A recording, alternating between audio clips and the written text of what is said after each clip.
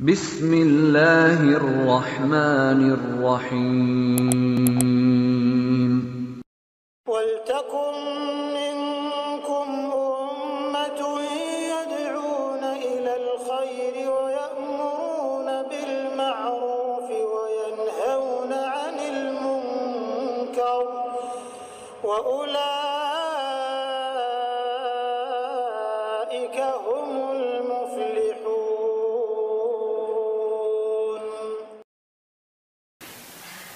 Baik, Ustadz bayar utang atau infak yang didahului. Dan apa ada fadilah keutamaan berinfak dan membayar hutang. Maksudnya mana yang didahulukan bayar hutang dulu atau infak dulu itu mungkin maksudnya ya. Ini tafsir saja ya. Kalau keliru tafsirannya tolong nanti diluruskan bagi yang bertanya ya. Tapi nggak usah sekarang nanti ditulis saja. Apa fadilah keutamaan berinfak dan membayar utang? Baik, teman-teman sekalian, ada dua hal, infak dengan bayar utang. Di mana posisinya? Kita harus rumuskan dulu. Infak terbagi dua bagian. Bagi dua, ada infak wajib, ada infak sunnah. Awas hati-hati, infak wajib, infak sunnah. Infak wajib ada di Quran surah keempat ayat 34. Posisi paling kiri sebelah atas. Di Quran surah An-Nisa.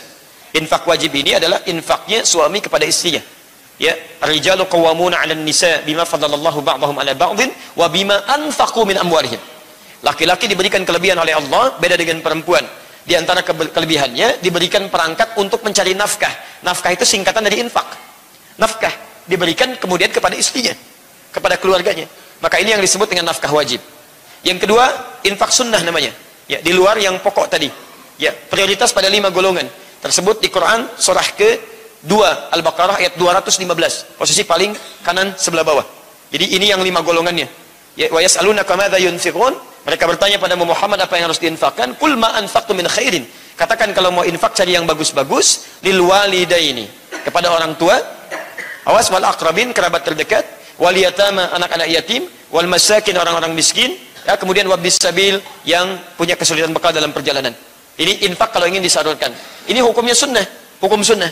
Sunnah dengan wajib ini diikat pahalanya di Quran surah kedua Al-Baqarah ayat 261. Posisi paling kiri sebelah atas. Mathalul ladzina yunfikuna amwalahum fi sabilillah kamathali habbatin ambatat sab'a sanabil fi kulli sumlatin mi'atu habba. Wallahu yudha'ifu liman yasha. Wallahu wasi'un alim. Tayyib. Ini terkait dengan infak. Jadi ada yang wajib, ada yang sunnah. Sedangkan membayar utang itu hukumnya wajib. Enggak ada yang sunnah. Nah, sunnah bayar utang. Masya Allah. Enggak ada, wajib utang dibayar.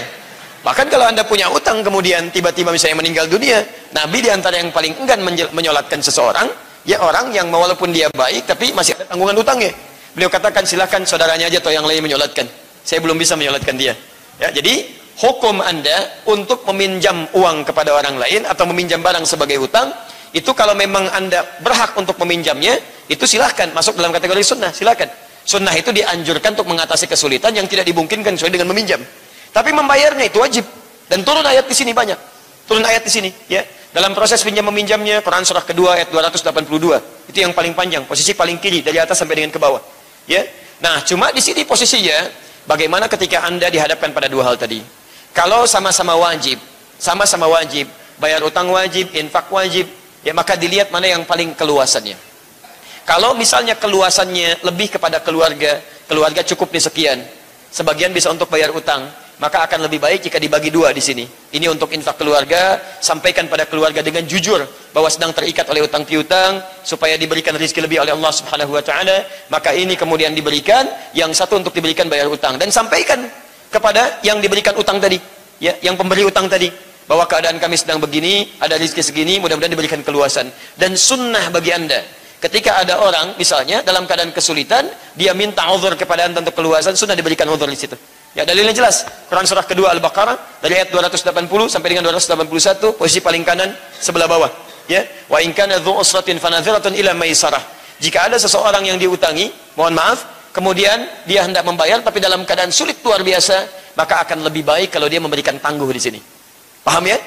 Jadi dari sini Ah, kalau anda ingin mengatakan mana yang didahulukan, kalau dua-duanya seimbang, maka anda bisa bagi dua dalam keadaan yang baik di sini. Mana yang paling madaratnya paling besar itu dahulukan. Tayyib. Tapi kalau keadaannya sunnah berbanding kemudian dengan wajib, maka dahulukan wajib, kemudian simpan yang sunnah. Jelas sampai sini? Allah Ta'ala a'lam. Salat.